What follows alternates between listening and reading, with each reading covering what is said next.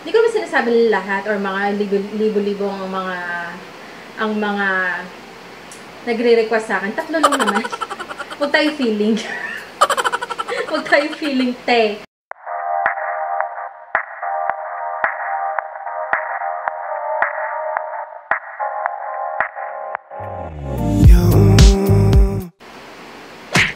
Right? Ganon. Ayan. Hello, hello mga kadars. It's me, Clarence, ang iyong kilinggerang vlogger and makeup artist online. Well, ano nga ba ang ano natin? Ano nga ba ang look natin ngayon? Quarantine eh. Is it the quarantine look? Hindi. Kasi may mga, ano ba? May mga nagre-request kasi sa akin eh. Gawin ko daw ang tiny face makeup challenge. So, hindi naman, hindi ko naman sinasabi lahat or mga libo-libo ang mga ang mga nagre-request sa akin. Tatlo lang naman. Huwag tayo feeling. Huwag tayo feeling, te. Anyway, uh, itong tiny makeup uh, makeup challenge, uh, nakita ko lang to kay Jamie French. And, yeah, tatry kong, well, I will try my best to uh, to do it. I'm no, uh, hindi ako ganun kagaling mag-drawing, but it's weird. Uh, it's weird dahil makeup artist ako, pero hindi ako ganun kagaling ang mag-drawing. Anyway, uh, without further ado, gawin na natin. So, I have my own way. Uh, uh, I have my own way on how I do it. Uh, dahil alam niyo naman, maraming chismis. Marami akong chismis sa mukha. Lalo na summer. Ito na ang panahon ng oiliness. Next to ugliness na panyabyan ko. Anyway, uh, first off, magtotone ako gamit Celatec uh, Acne Solutions Oil Control Toner. Kasi ang lola niya ma-oily. Oh, sa kapampangan mo oily ko po jo. So, magkaita na. Mag-tone and moisturize sana ko noon eh. So, kaya, kaya mo. Dapat po tang mag-makeup ka, uh, malinis ka lupa. Patagalugin ko na, baka mahirapan yung mga Tagalog viewers natin.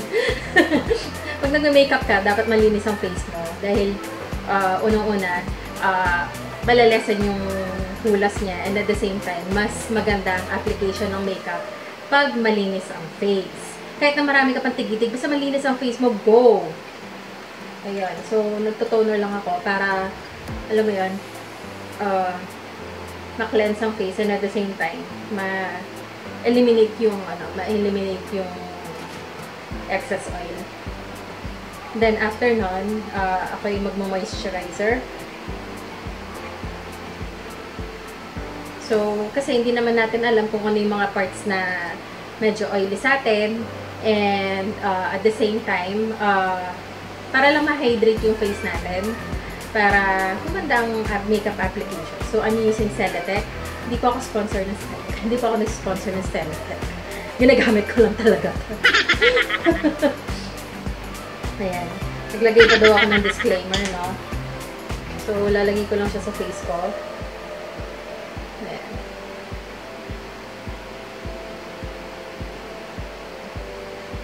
So, hindi ko sure paano... Anyways, hindi ko sure. Pinanood ko na yung yung video ni Jamie French. Alo na alo ako sa kanya, sa totoo lang. Yeah. Minsan i-check out, i-check out niya siya. So, minamassage ko lang ng konti yung yung face ko. And then, here's what I do. Since medyo oily-oily na, uh, oily-oily tayo, para hindi agad humulas ang makeup. And, so, I have, uh, I have a loose powder. Ito pwede. Importante translucent powder or yung clear powder, no color powder. Yun yung importante. So, I'm using Airspun. Airspun, yung translucent powder nila. Although I have another one here for another one uh, another one here na bubulol na ako. But, next time ko siya gagamitin. So, isa-set ko lang siya. Ano ba yan? Buhok-buhok. Ito na lang.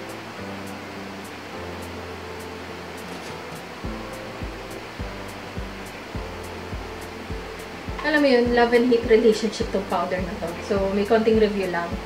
Uh, gusto ko siya kasi talagang ano, matte na matte siya. At the same time, yung ayoko lang sa kanya is, if hindi ka careful maglagay, magkakaroon siya ng flashback or may tendency na mag, ano siya ng flashback.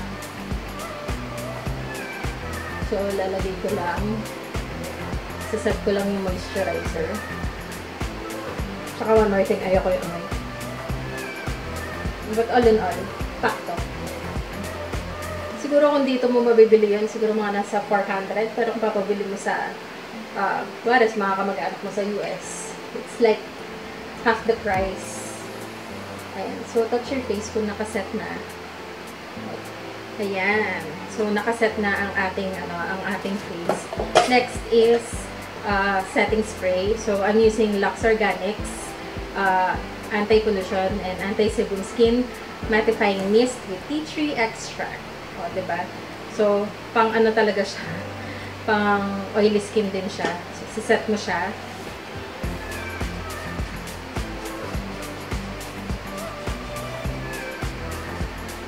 Oof. Oof. Aray.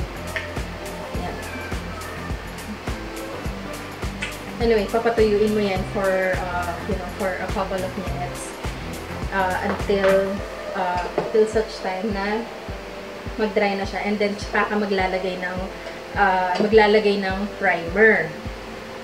Ayan. So, ang primer na ginagamit ko since uh, summer, tayo, and unfortunately, nagkaroon ng, uh, nagkaroon ng pandemic, nagkaroon ng COVID-19. So, of course, pag lalabas ka, nakamask ka, and tendency pag nakamask ka, medyo mainit, kapawisan ka. kapawisan ka talaga and uh, mag-oil talaga yung ditong, yung ditong area mo. So, what I use is this. Yan. Ayan. Uh, Neat 3B Face Saver Gel. Facial Antiperspirant. So, uh, nakuha ko to, nakuha ko to sa Lazada o nakuha to sa Lazada I think this is around 800 pesos, 800 or 850 pesos. Pero, matagal mo na siyang gagamitin. Uh, a little goes a long way. So, ayun. Uh, ito yung ginagamit ko. And uh, maganda dito, you can use it as it is. Kahit ito lang. Pare, mag-workout ka, ayaw pawisin yung face mo. Ito. And, uh, of course, sa mga clients, ito din yung ginagamit ko. Lalo na pag garden wedding, lahat. Yun. so, medyo love na love ko tong primer na to. And, uh, yeah, the reason why I said na a little goes a long way because pag napasobra ka besh, DARS, napasobra ka, magkikik yung face mo. So, yun ang medyo iniiwas-iwasan natin. Talagay ko siya ulit. So, iyaan ko lang. I-spread ko lang maayos sa aking face. Hindi ako masyado naglalagay sa ilong konti lang. Ayan, sa neck. Dito.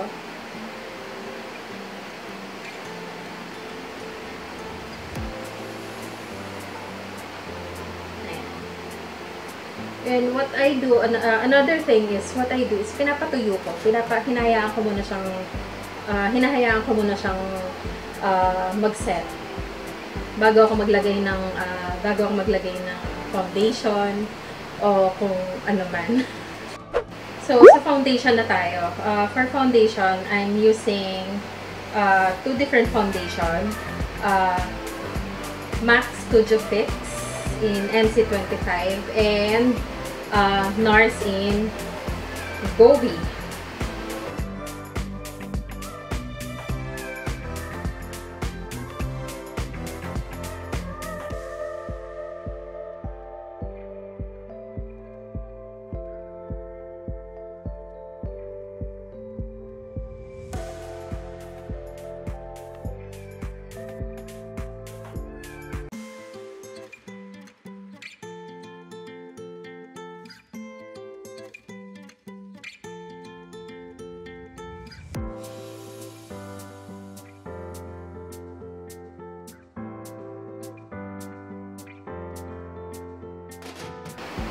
'Di ba? Tagal-tagal ko na rin hindi nag-vlog. I admit, medyo nakatamaran. Nababad sa K-drama. Yes. Nanonood din ba kayo ng K-drama? Comment niyo kung ano yung mga pinagpapanood niyo. So far sa akin, ano ba mga pinagpapanood ko ngayon? Ayan na. Yan. Okay yun. Uh, tapos, ano pa? Uh, The King Eternal Monarch. Ayan. Diba? Trending nga eh. Kasi nga Shinnok ni Ay Ay de las Alas, hindi niya daw maintindihan. Hindi mo maintindihan ba eh? Balik ka sa unang episode. Pero totoo naman, medyo nakakalito nga naman yung mga parallel parallel universe na ganyan. And, di ba? Gano'n nga sinasa na meron daw parallel parallel parallel universe parallel universe sa ewan ko kung saan saan nila nakita yun na ano backwards daw yung yung time, yung oras.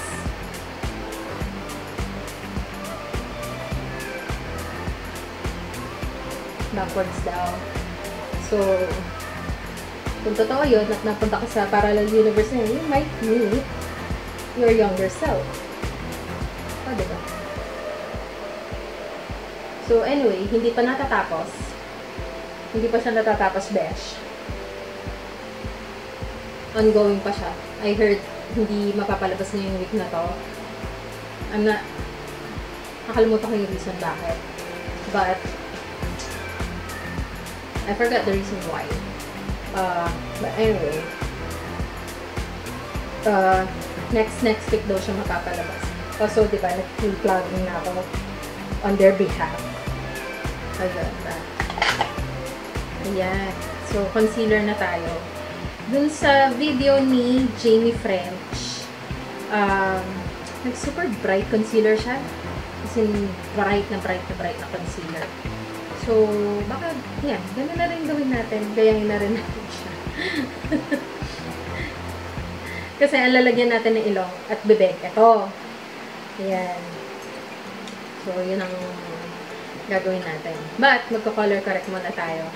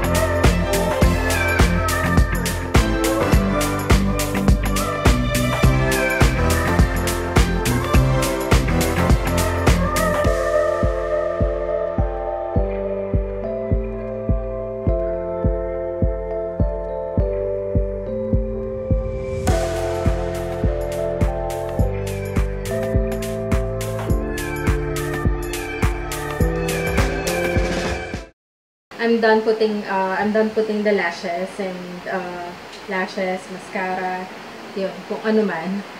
And yun, ready na tayo dun sa pinakakaantay natin. Yan, pinakakaantay natin. Hindi ko talaga alam kung maging expectations versus reality to. Pero, yun, I'll try my best. I'll try my best. Kaya ako na ganito. Para, may pag, ah, parang may konting outline ako, ganun. Tingnan ko nga. Ayan. Tapos, magda-drawing na tayo.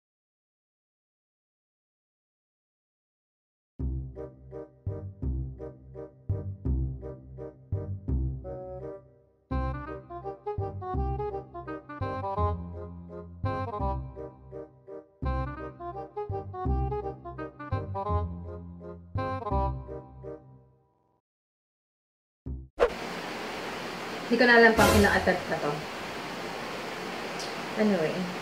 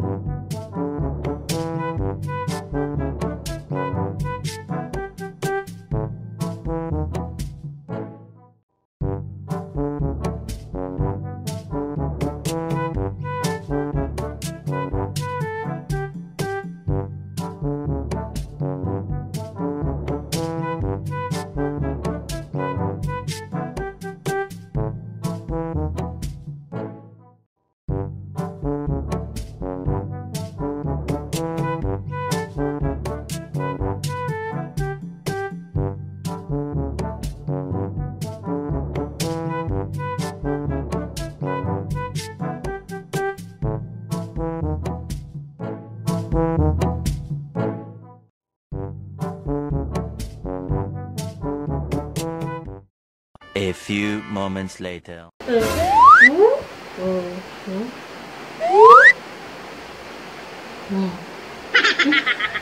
Finally, we're already done. Di ba? Ay, Nakailang attempt ako, besh. Anyway, uh, it takes a lot of patience pag mga ganitong makeup. Sa iba simple, sa akin mahirap. ah! There you have it. Ang aking, uh, ang aking tiny face makeup challenge. so, sinimplihan ko lang yung eye, ang, uh, ang aking eyeshadow. Medyo matrabaho siya. Medyo matrabaho siya. Mahirap siya. So, kailangan ko pang balik-balikan yung video ni, ni Jane French. Uh, para doon.